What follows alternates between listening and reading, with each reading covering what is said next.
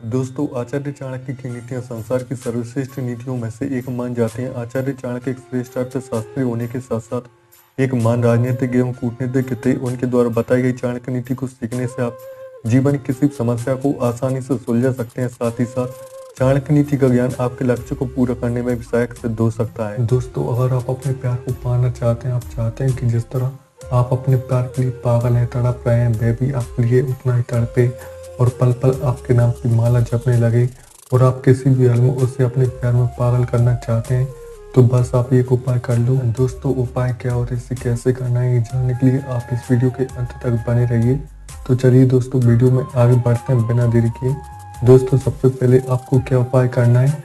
आपको सबसे पहले सोते वक्त प्रेमिका का नाम लेते हुए अपने जिस्म पर फूक मार लें और फिर तीन बार प्रेमिका का नाम लें और फिर चुपचाप सो जाएँ। और अगले दिन आप देखेंगे कि आपकी प्रेम का आपसे मिलने के लिए तड़पने लगेगी।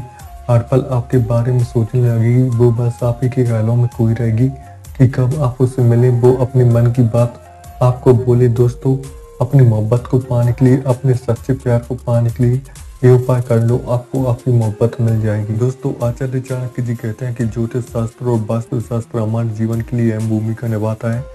अगर हम जीवन में ज्योतिष शास्त्र और वास्तु शास्त्र का सहारा लेते हैं तो जीवन में हमें कभी भी कठिनाइयों का सामना नहीं करना पड़ता है। आपके द्वारा किया गया ये उपाय दोस्तों, आपको आपकी मंजिल तक ज़रूर पहुँचा सकता है।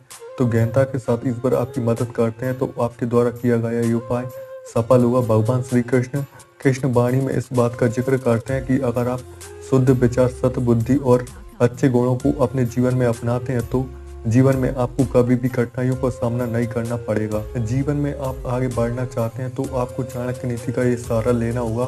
चाणक्य नीति का साथ अगर आप अपने दिल में रखते हैं तो गहनता के साथ इस बार आपकी मदद करते हैं। तो दोस्तों, आज की इस वीडियो में बस इतना ही। वीडियो आपको कैसा लगा नीचे कमेंट बॉक्स में ज़रूर लिखिए। और आप भगवान श्री कृष्णा जी के सच्चे भक्त हैं तो नीचे कमेंट बॉक्स में जय श्री कृष्णा राधे राधे ज़रूर लिखें।